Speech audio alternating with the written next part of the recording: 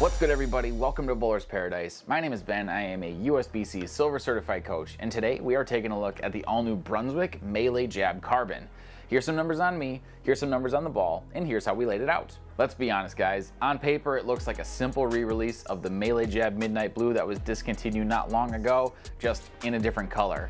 But with the performance of those melee jabs as of late, Brunswick would be foolish not to maintain one in their line as they have had a lot of success with these releases. So this melee jab carbon comes in with the expected low RG high differential symmetrical melee core, this time wrapped by the AXH which is short for Activator Extreme Hook Pearl Reactive cover stock at the 1500 grit Crown Factory compound finish and this cover was most recently featured on that Zenith Pearl. So when this ball showed up, I really wasn't sure what to expect. Historically, I haven't matched up great with Brunswick Pearls as they've tended to be a little bit too slow off the spot for me, but the success of the predecessors of this piece can't be doubted either. So we decided to put a pretty basic layout on it just to see what the ball could do rather than trying to force it into being something specific. And on the lanes, all I could say was, wow! The jab carbon looked great on the outside part of the lane, in the track area, and deep inside. It was responsive to hand position, handled early friction well, got off the spot down lane in a good way almost every time, and carried damn near every hit. My average with this ball for the first three games outside of these shots was over 270, and that performance speaks for itself. With this release, I finally got to see the shape I saw from my original 900 Global Wolverine again.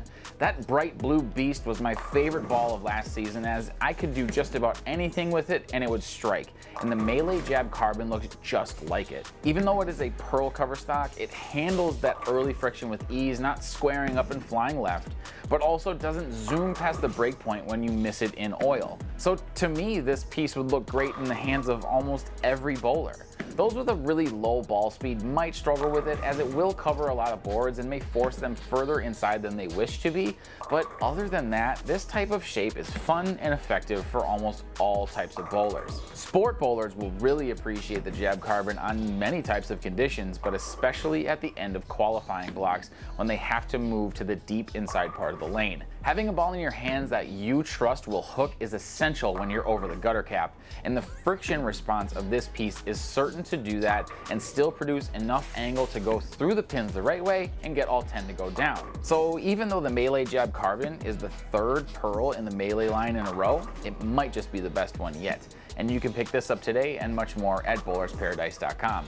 Be sure to use the discount code YouTube at checkout for free shipping. Big shout out to the guys at Striking Edge Pro Shop for the layout and drilling of this piece, and to Dale's Weston Lanes for letting us film this video. Before you go, smash that like button, subscribe to the channel, and hit that notification bell for more ball and product reviews. And of course, remember, having the right ball in your hands, now that's a bowler's paradise. Peace.